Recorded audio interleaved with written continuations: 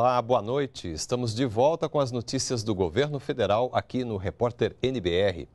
O presidente Michel Temer falou nesta tarde sobre a denúncia apresentada contra ele pela Procuradoria-Geral da República ao Supremo Tribunal Federal. O presidente ressaltou que a denúncia não tem fundamento jurídico e foi feita com base em ilações, ou seja, suposições. O repórter Ney Pereira acompanhou a declaração e traz os detalhes ao vivo aqui para gente. Olá, Ney, boa noite para você.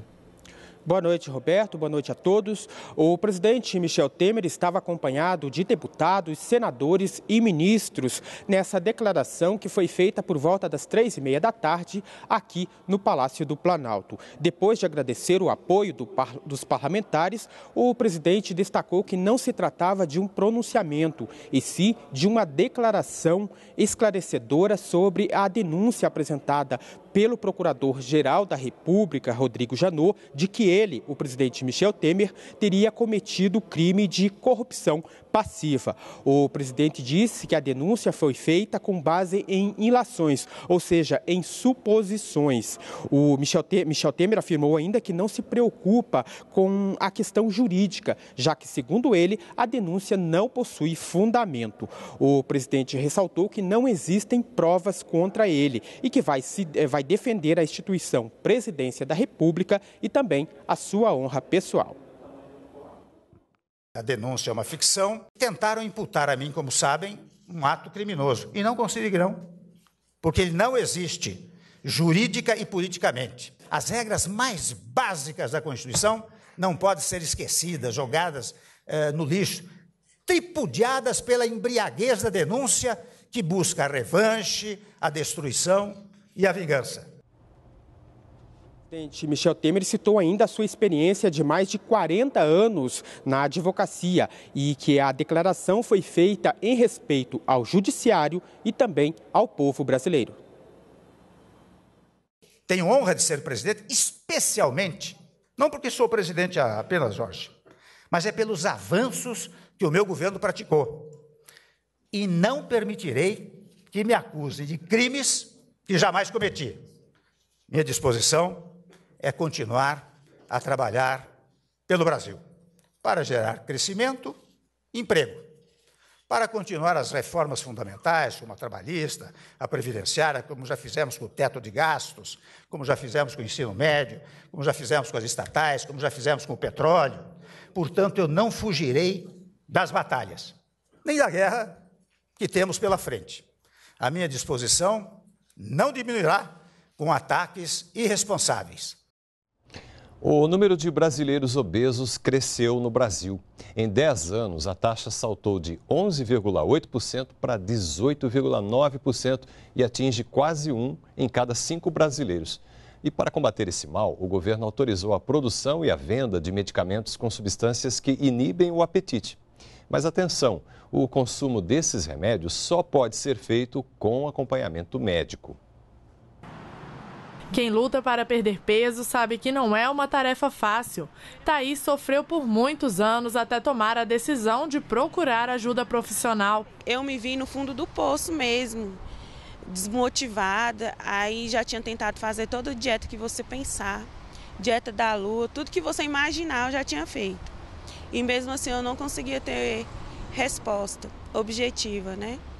E aí foi quando eu resolvi procurar um endocrinologista um especialista para poder ver se me ajudava. Pesando 97 quilos e com 1,65m de altura, na época ouviu do médico que precisava mudar os hábitos. Quando eu cheguei no consultório, doutor, foi um banho de água fria, né? Porque eu pensava assim, ah, eu vou chegar lá, ele vai me passar um remédio, eu vou fazer uma bariátrica e vai resolver a minha vida. E não é bem assim. Você passa por todo um processo, mudança de vida, exercícios físicos, né? O caso de Thaís não é exceção. A obesidade já é epidemia no mundo. No Brasil, segundo dados do Ministério da Saúde, nos últimos 10 anos a obesidade aumentou em 60%, passando de 12% em 2006 para cerca de 19% em 2016.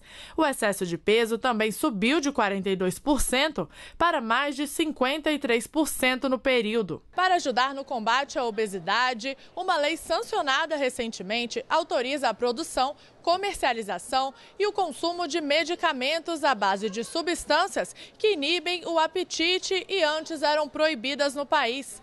A ideia é aumentar as opções de tratamento para pacientes que sofrem dessa doença crônica. A lei também obriga que esses medicamentos façam parte da classificação tarja preta, ou seja, só podem ser vendidos nas farmácias mediante retenção de receita médica da cor azul.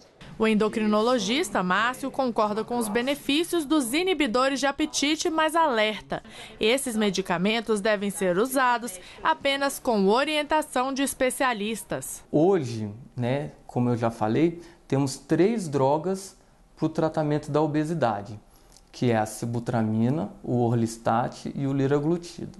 Tá? Muitos pacientes não possuem uma resposta a esses fármacos e muitas vezes nós ficamos de mãos atadas sem opção terapêutica.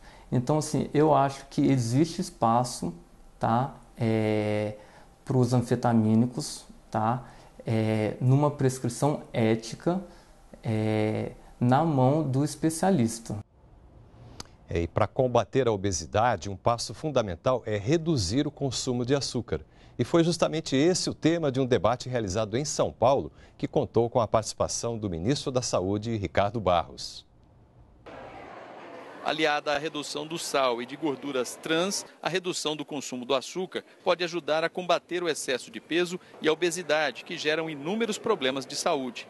Para o cardiologista Daniel Magnoni, do Instituto Dante Pazanese de São Paulo, uma vez que a maior parte do açúcar consumido é aquele adicionado aos alimentos pela própria pessoa, só será possível diminuir a ingestão aliando a informação aos programas governamentais. As pessoas estão comendo muita gordura saturada, muito sal e consumindo mais do que 10% das calorias na forma de açúcar. Para retirar esse abuso não é colocando informações nos rótulos simplesmente é, são vários fatores. A educação é o principal fator, o estímulo da atividade física e entender o que tem no rótulo. O ministro Ricardo Barros participou do painel Açúcar, o consumo equilibrado como melhor escolha. Segundo o ministro da Saúde, atualmente 16% das calorias consumidas pelo brasileiro diariamente têm origem no açúcar. Ricardo Barros defendeu como meta a redução e o controle do consumo do produto para no máximo 10% do total de calorias diárias. E para isso estuda medidas como diminuir o ingrediente nas bebidas e nos alimentos industrializados. Isso permitirá, no conjunto da obra, uma conscientização das crianças que levarão para as suas famílias, para os seus hábitos familiares esta nova atitude frente ao consumo de verduras e hortaliças maior, ao consumo menor de açúcar e sal. Mas não há mágica. Embora reduzir o consumo excessivo de açúcar seja necessário, isso não é suficiente. Para ter uma vida saudável, além de uma dieta equilibrada, foi consenso entre os participantes do painel que é necessário manter uma rotina de exercícios físicos. E não é preciso radicalismo, basta se movimentar como defendeu um dos participantes do debate, o educador físico Márcio Atala. A gente deveria dar o um mínimo de movimento que o nosso corpo precisa, determinado pela Organização Mundial da Saúde, ou 10 mil passos por dia, ou 30 minutos aí de atividade na semana, e ter um consumo de açúcar moderado. Você tem ali as recomendações, e claro, essa recomendação ela tem que estar é, equilibrada com o seu estilo de vida. Esta edição termina aqui. Você pode rever as reportagens no YouTube. Toda a programação também está disponível em nossa página na internet. Uma boa noite para você e continue com a gente aqui na NBR, a TV do Governo Federal.